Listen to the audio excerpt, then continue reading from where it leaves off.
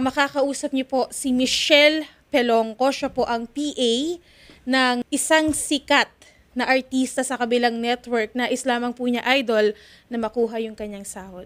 Mula Alam mo, June- para naalala ko to yung PA ng isang ah, manika. Manika, idol si Manika. Ganitong ganito ito. Kanina pa po namin kinokontak si Janela Maxine Salvador. Si ah, Janela po nakausap namin yung kanyang handler. Sabi ng kanyang handler, yes, hintayin nyo lang at kami ay ah, sasagot or something to that effect. Pero tuloy-tuloy lang pinatatawagan hanggang Hello? ngayon, wala pa rin silang tugon na para makipag-usap. Anyway, Miss Michelle, Hello? meron kayong sinisingil na sweldo kay Janela at na hindi binibigay sa inyo. Opo. Ilang buwang sweldo? Hindi naman po buwan. Ano lang po. 12 days lang po nung pinaalis niya po ako. Kasi binigay niya na po yung kulang sa akin nung April po, yung 4K ko po. 12 days po. At 12 days. Magkano po yung 12 days? Mga 3,600 po yata. Kasi Okay. po, ina, sayang din po kasi inasahan ko po yun eh. Kasi pinapadala ko po sa mama ko. Maliit ata, 12 days, 3,600. Opo. kasi Magkano ba sweldo mo sa kanya sa isang buwan? 8, 8K po yung isang buwan ko. Opo. 8 po. 8,000? Opo. Grabe, sobrang liit. Oo nga po. Saka, alam niyo naman po yung ano, yung hirap po bilang PA.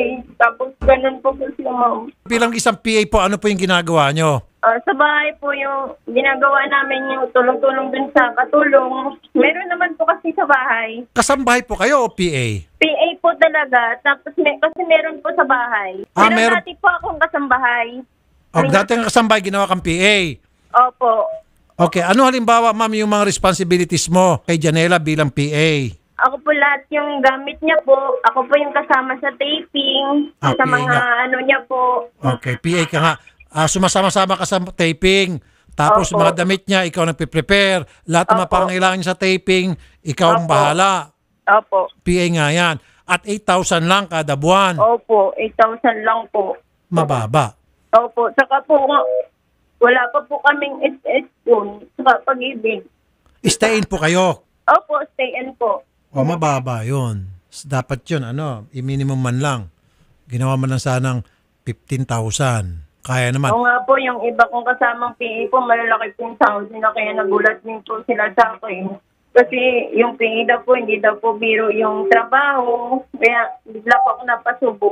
O, at saka, napupuyat din itong mga PA. Alam ko ng mga artista dahil kapag Opo. puyat ang artista, puyat din ang PA, di ho ba? Sa Opo, taping. Lalo na, opo, lalo na po kung ano po, dalawa po yung schedule, yung meron po sa teleserye, sa movie, ganun po. Oo, oo nga. Kung halimbawa, abutin yun hanggang alas 3 na madaling araw, eh Opo. nakatambay ka ng hanggang alas 3 na madaling araw. Opo. O, di ba? Tapos, 8,000 lang. Opo, 8,000 lang po. Tapos nung pinalis niya ako June 12, hindi niya pa po binigay sa akin. Ba't ka pinalis? Yun nga po. Kasi may sinabihan po akong handler niya po na yung kinalahati yung sahod ko. Tapos bigla po niya akong sinabihan na ano, malis na lang ako dito, hindi ko daw po deserve yung pagkain sa bahay. Yung libreng pagkain po, yung bahay nila. Teka muna, hindi mo deserve yung pagkain nila sa bahay. Ano bang kinakain nila? Ginto? Masarap pa mga pagkain nila. Hindi naman po sila namimigay ng pagkain nila. Yung pagkain, iba po naman po yung sa amin. Iba ang pagkain nila, iba yung pagkain ng PA at saka yung kasambahay? Hindi po, iba po yung pagkain nila nila ni ma'am, saka iba po yung, ba, yung pagkain namin kasama ng kasambahan. Kaya nga po, sa bahay nila, yung kinakain nila, hindi nyo pwedeng kainin. Iba yung pagkain nyo sa pagkain Hindi nila. po, iba po.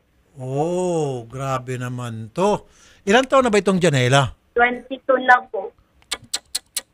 Iha, Janela, hindi maganda ito. Bata, bata ka pa. Pasensya na. Hindi ko kilala to. Hindi ko napapanood yung mga show nito. So, sorry ha, kasi ako amo din. Kasi sa patakaran ko, kung ano yung kinakain ko, yun yung eksaktong kinakain ng mga kasambahay ko. Totoo po yan. Sana po ganun nga po eh. Kasi iba yung, kasi mga amo ko po, ganun po kami sama-sama kumain. Parang isang pamilya din po. Correct. Pero dyan, iba po. Kuminsan, yung mga kasambahay namin, hindi, totoo to, hindi to biro, nagagalit na sa akin. Dahil pinipilit kong kumain. Kainin mo yan, lalo si Jocelyn. Masarap yan, sige na. Na-witness namin lahat yun. Totoo, namimilit kami. Sige, ubusin mo yan. Hindi yung tira-tira, yung talagang pagkain. Sir naman, kuya, taba, tumataba na ako. Tama, stop na, stop na. Ganon kami. Kasi, kasamahan yan kaya nga. parang pamilya yan eh. Kung anong kakainin ninyo, pakain nyo sa inyong kasama sa bahay. Grabe pala ito. Ang nangyayari dito, iba ang turing sa inyo. Kumbaga, Opo, ibang, iba talaga. Wala po siyang pakilaman. Pakialam po. Pagbigay lang po siya ng 2K sa amin, budget po yun for 2 weeks po. two weeks na pagkain, 2,000. Opo. Sino-sino kasama mo doon sa two weeks, sa 2,000? Yung driver po, saka yung isang kasambahay po. Nako. Tapos, ngayon, iba panlutuan nyo siguro. Opo, iba din po yung lutuan namin. Iba din po yung sa kanila. Okay. Sige, para makilala ng mga iba, ibang nan- manunod ako, hindi ko kilala. Ano-ano ba mga show nito? Ano, Ah, Killer Bride po. Killer Dati, Bride? Killer Bride, opo, teleserye. Tapos yung The Heiress po. The Heiress. Opo. Eh baka naman wala May nang... MMK na rin po yun. Eh di ba wala na yung istasyon? Opo, wala na nga po. Oh, pero siguro marami itong na-save. Kaya po siguro nagtitipid.